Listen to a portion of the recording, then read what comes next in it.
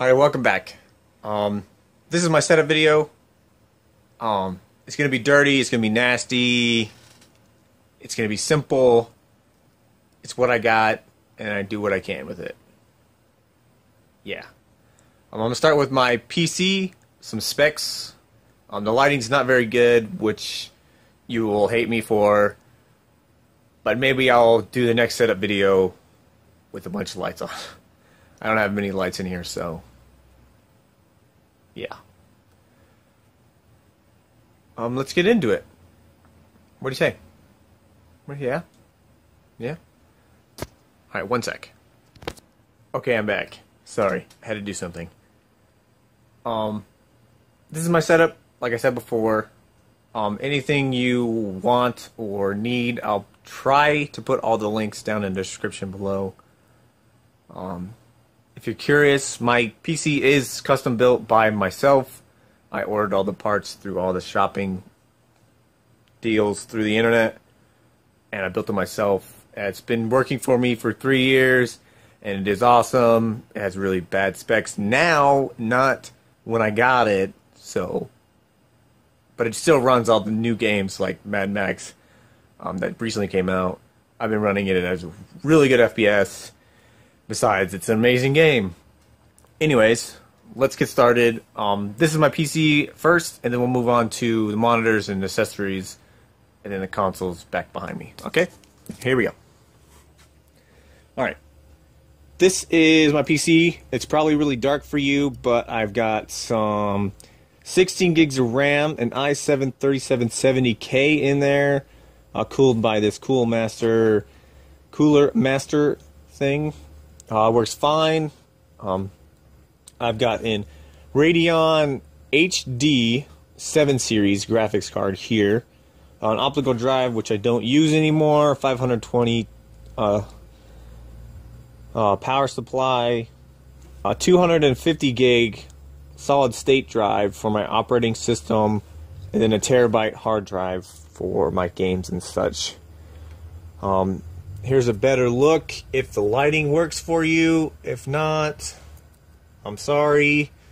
Um, that's it. Cable management's kind of okay, but it works for me. Um, this is a Corsair. Uh, I got this uh, case when I first uh, built my computer like three or four years ago.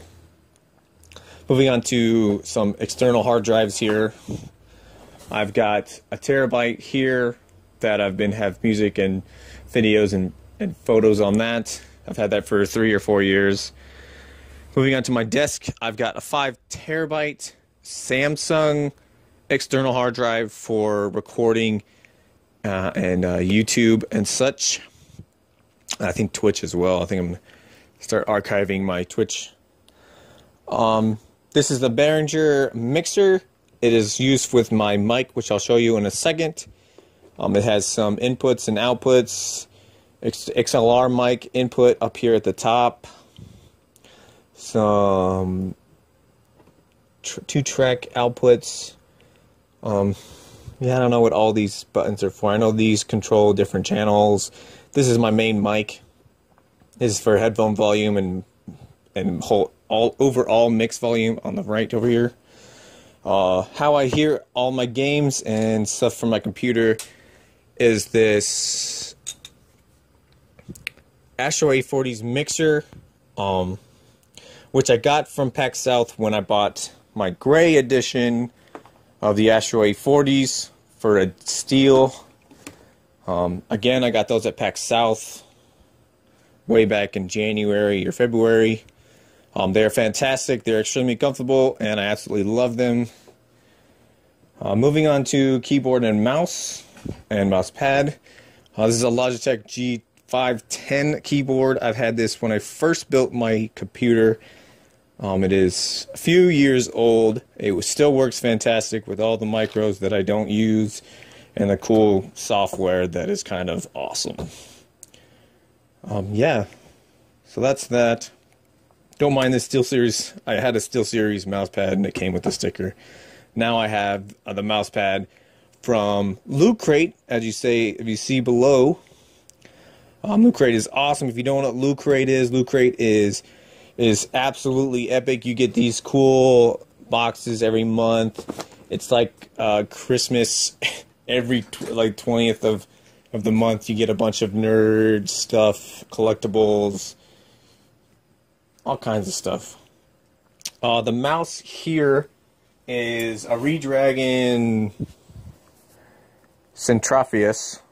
I'm never going to get that right. Uh, gaming mouse, it has like, what, six buttons on it. Um, and it goes up to 2,000 or 8,000 DPI. It has different weights and stuff. Yeah, six buttons. I just I just recently got this because my other mouse uh, stopped working properly. Uh, I've got some gunners here. I also got PAX South, which they work fantastically. Awesome doohags and things from Loot Crate and PAX South. Um, moving on to my monitors, and then I'll cover my mixer. Uh, really good monitor, really okay monitor. Um, this is a 23 inch HP monitor at 720p. Um, it's working, so I'm using it. Um, this is a 24 inch 1080p 2 millisecond gaming monitor from BenQ. It's absolutely awesome, and I freaking love it. And I'll probably get another BenQ monitor as my third or to replace my second one. Um, this is a Logitech C910 uh, webcam. I don't really use it much because I don't have friends, so. But I have it. That's that. Um, I think I covered everything here. Any questions on anything I covered or didn't cover, just let me know in the comments below. I'm going to move on to my consoles and my cable management for my consoles. Uh, modem up here at the, at the top, some extra modem and routers. Uh, I've got my old consoles I don't use much at all. Um, that is an Xbox 360 in its box with a bunch of games. Um, next is my two consoles here. Uh, I've got the Xbox One Titanfall Edition, the white PS4 Destiny Edition. So just gives you an idea. Uh, the white one's awesome. It comes with a white controller. Xbox One comes with a black controller because the white one didn't come out recently until like a few months ago. Cable management on both my consoles or any of my consoles are hooked up to this HDMI switch. Um, it has five inputs, so I can have five, five different devices hooked up to it. Um, it has one output. It goes to my TV, and it's a easy switch. When I turn on, say, I have my Xbox One hooked up now, and if I just go here and turn on my PS4, you're going to see it, it automatically switches to that. So that's the HDMI switch. Um, if you are curious of where or how to get this, I will leave it in the description below. But that is that. This is an old mouse pad.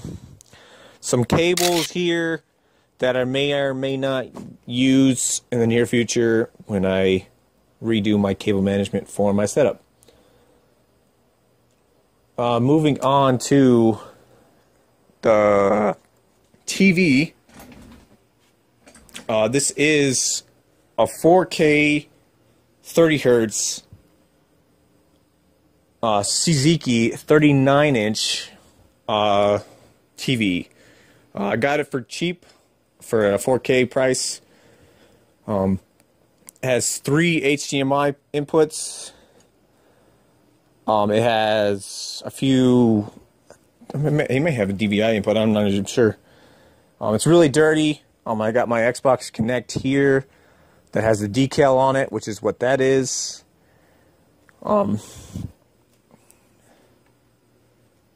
um, other than that, that was my TV Suzuki. You may not be able to get that TV anymore, but I will leave it in the description if you are curious. Um, I think that covers everything, guys. I may have missed something. I may not have. Um, don't mind One Piece. Absolutely epic anime. I freaking love it. Um, that has been a, my gaming setup. I think I I think I mix I missed my mic my freaking mic here. So let me cover this. Okay, this is an Audio Technica 2020 microphone XLR.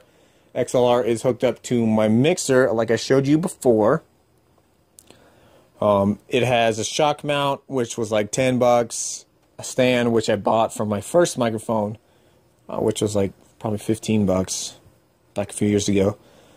Um, it has a wind guard, which is actually the most expensive accessory, um, and then the my the microphone itself. Like I said, this is an Audio Technica 2020 XLR mic.